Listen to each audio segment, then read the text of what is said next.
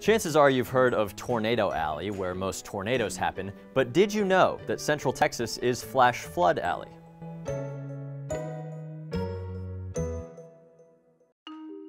We have some of the most dangerous flash floods in the country, and there are three reasons why.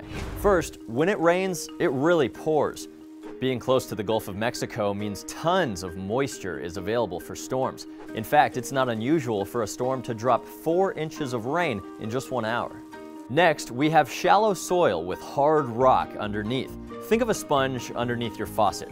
If you run water on it, it'll soak up as much water as it can before it starts spilling out.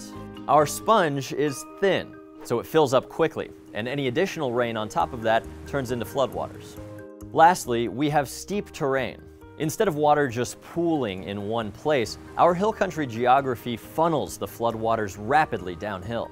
And moving water is a powerful force. Most people who are hurt during flash floods are hurt driving through the water. The safest thing you can do in a flood, just stay home.